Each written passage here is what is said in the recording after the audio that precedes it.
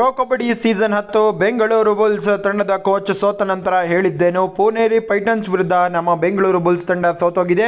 ಇದಕ್ಕೆ ಪ್ರಮುಖ ಕಾರಣ ನಮ್ಮ ತಂಡದ ಡಿಫೆನ್ಸ್. ಡಿಫೆನ್ಸ್ ಚೆನ್ನಾಗಿ ಮಾಡಿದ್ರು, ಆದರೆ ಬೋನಸ್ನ ಬಿಟ್ಕೊಂಡು ಕೊಟ್ಟರು ಅಸ್ಲಾಂ ಇನಾಮ್ದಾರ್ ಅವರು ಬೋನಸ್ ಮೇಲೆ ಬೋನಸ್ನ ತಗೊಂಡು ಪುಣೇರಿ ಪೈಟನ್ಸ್ ತಂಡವನ್ನು ಗೆಲ್ಲಿಸಿ ಕೊಟ್ಟಿದ್ದಾರೆ ಸೋಲಿಗೆ ಕಾರಣ ನಮ್ಮ ತಂಡದ ರೈಡಿಂಗ್, ಡಿಫೆನ್ಸ್ ಹಾಗೂ ಬೋನಸ್ನ ಬಿಟ್ಕೊಟ್ಟಿದ್ದು.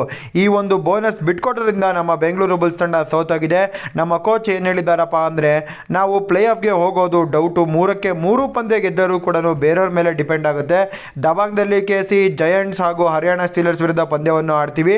ಇವತ್ತು ನಾವು ಗೆಲ್ಬೋದಾಗಿತ್ತು. ಇವತ್ತು ಗೆದ್ದಿದ್ರೆ ನಮಗೊಂದು ಔಟ್ಸೈಡ್ ಚಾನ್ಸ್ ಇರೋದು. ಆದರೆ ಆ ಒಂದು ಚಾನ್ಸ್ ಕೂಡ ಹೋಗಿದೆ. ನಾವು ಪ್ಲೇ ಆಫ್ಗೆ ಹೋಗೋದು ಕಷ್ಟ. ಆದರೆ ಇವತ್ತು ನಮ್ಮ ಬಾಯ್ಸು ಚೆನ್ನಾಗಿ ಆಡಿದ್ದಾರೆ.